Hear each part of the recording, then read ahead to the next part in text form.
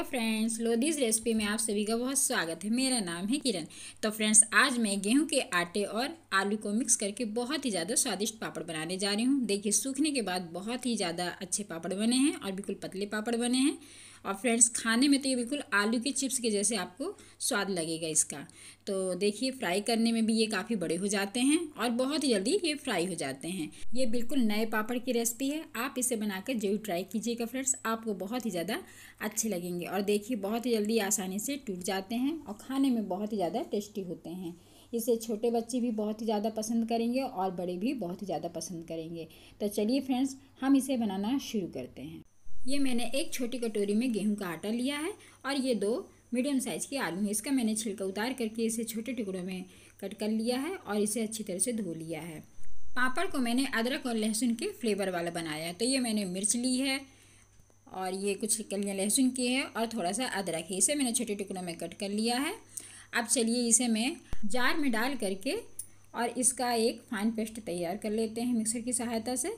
तो बस ये सारी सामग्री हम इसमें ऐड कर देंगे और बस इसमें मैंने थोड़ा सा ही पानी ऐड किया है। बस हम थोड़ा सा एक दो चम्मच के करीब इसमें हम पानी डाल करके और इसका फाइन पेस्ट तैयार करेंगे। तो फ्रेंड्स, बहुत ही आसानी से ये पापड़ बन जाते हैं और बहुत ही अच्छा इसमें फ्लेवर आता है। तो देखिए, इस तरह से मैंने इसे पीस लिया है और बहुत ही अच्छा इसका पेस्ट तैयार हुआ है। अब चलिए हम पापड़ का बेटर तैयार कर लेते हैं। तो मैंने ये एक गहरा बर्तन लिया है। अब जिसमें हम पापड़ बनाएँगे, हम उसी बर्तन का इस्तेमाल करेंगे। तो चलिए इसमें मैंने अब आटा डाल दिया है और देखिए फ्रेंड्स, बहुत ही कम आटे में बहुत सारे, ढेर सारे पापड़ बनते हैं। अब चलिए इसमें मैं पानी डालूँगी। तो मैंने एक छोटी कटोरी के करीब आटा लिया है तो बस उसी कटोरी में मेज़रमेंट करके हम ग्यारह से बारह कटोरी हम इसमें पानी ऐड करेंगे। तो अभी मैंने इसमें तीन से चार कटोरी पानी डाला है। अब इसे हम अच्छी तरह से मिक्स कर देते हैं ताकि इसमें कोई भी गुठली ना रहे। तो शुरू में हम थोड़ा सा कम पानी इसमें डालेंगे, उसके बाद इसे अच्छी तरह से मिक्स कर देंगे ताकि इसमें एक भी गुठली ना रहे। अब उसके बाद चलिए इसमें हम आलू का पेस्ट डाल देते हैं और इसे भी हम अच्छी तरह से मिक्स कर देते हैं। तो फ्रेंड्स, यदि आप सही मेज़रमेंट करके पापड़ बनाएँगे तो आपके पापड़ बहुत ही अच्छे बनते हैं। तो बस इस तरह से मैंने एक कटोरी, छोटी कटोरी में गेहूँ का आटा लिया है और इसमें मैंने ग्यारह से बारह कटोरी के करीब पानी ऐड किए बस उसी कटोरी में हम पानी डालेंगे। तो आप जिस बर्तन का इस्तेमाल करें, उसी बर्तन में हम पानी डालेंगे। तो चलिए अब मैं इसमें और पानी डाल देती हूँ।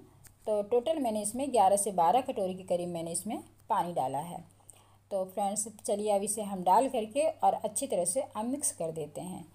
तो फ्रेंड्स, बहुत ही जल्दी ये पापड़ बन जाते हैं। बस आप सही तरीके से बनाएँगे तो आपके पापड़ बिल्कुल भी नहीं बिगड़ेंगे और बहुत ही अच्छे बनेंगे।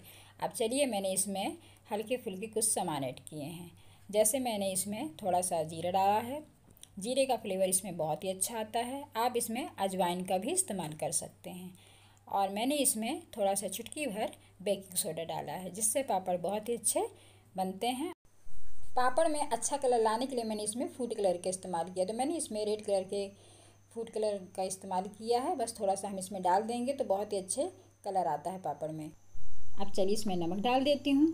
तो नमक मैंने इसमें थोड़ा कम ही डाला है, क्योंकि पापड़ में थोड़ा नमक कम ही डाला जाता है। ज़्यादा नमक डालेंगे तो पापड़ का टेस्ट अच्छा नहीं आता है। अब चलिए इसे एक बार फिर से अच्छी तरह से मिक्स कर देते हैं। तो देखिए फ्रेंड्स बहुत ही अच्छा हमारा बेटर बनकर तैयार हुआ है। मतलब हमें ज़्यादा ना गाढ़ा और ना ज़्यादा पतला बेटर चाहिए। तो फ्रेंड्स यदि आप सही बेटर बनाएँगे तो आपके पापड़ बहुत ही अच्छे बनेंगे। और जब हम इसे पकाएँगे तो हमारा बेटर अपने आप गाढ़ा हो जाएगा। अब मैंने इसमें एक कटोरी के करीब पानी और डाल दिया है। तो टोटल इसमें ग्यारह से बारह कटोरी के करीब मैंने इसमें पानी डाला है। तो देखिए फ्रेंड्स हमें इस तरीके का इसकी कंसिस्टेंसी चाहिए। मतलब न ज़्यादा गाढ़ा और न ज़्यादा पतला। यदि थोड़ा पतला हो भी जाता है तो कोई बात नहीं। जब हम इसे पकाएँगे तो ये अपने आप गाढ़ा हो जाता है। अब चलिए मैं इसे गैस के ऊपर रख देती हूँ और गैस को मैंने मीडियम फ्लेम पर रखा है। तो फ्रेंड्स बस आप एक ही बात का ध्यान रखें कि हमें इसे एक ही राउंड में लगातार चलाते हुए घुमाना है। हमें हाथों को बिल्कुल भी नहीं रोकना है। यदि हम हाथों को रोक देंगे तो इसमें कुठली पड़ सकती है, जिससे हमारे पापड़ बिगड़ जाएँगे। तो बस हमें इसे उबाल आने तक लगातार चलाते हुए एक ही राउंड में इसे चलाते हुए पकाना है।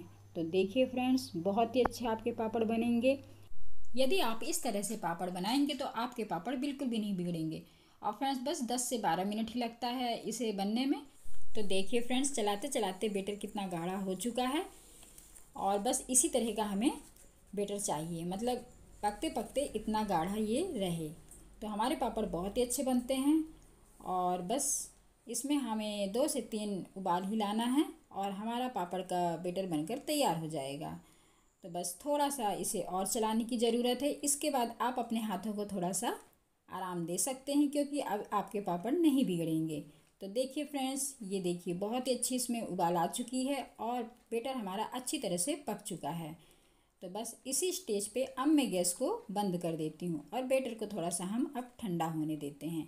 उसके बाद मैं इसमें हरी धनिया की कुछ पत्तियाँ भी ऐड करूँगी। बेटर हल्का ठंडा हो चुका है। अब चलिए इसमें मैं हरी धनिया की पत्ती डाल देती हूँ। इससे टेस्ट बहुत ही अच्छा आता है पापड़ में और इसे भी डाल करके अच्छी तरह से अब चला देती हूँ। अब चलिए इसे हम धूप में जा करके अब पापड़ डालते हैं। तो देखिए मैंने इस तरह से एक मोटी पन्नी बिछा दी है। पन्नी को मैंने ऑयल से ग्रीस कर दिया है ताकि पापड़ अच्छे से हमारे निकल आएँ। अब बस एक मीडियम साइज़ की चम्मच की सहायता से हम थोड़ा थोड़ा बेटर इस तरह से डालते जाएँगे और हल्का हल्का इसको राउंड करके घुमा देंगे। तो देखिए फ्रेंड्स, बहुत ही आसानी से पापड़ बन जाते हैं और हमें ज़्यादा पतला इसे नहीं करना है।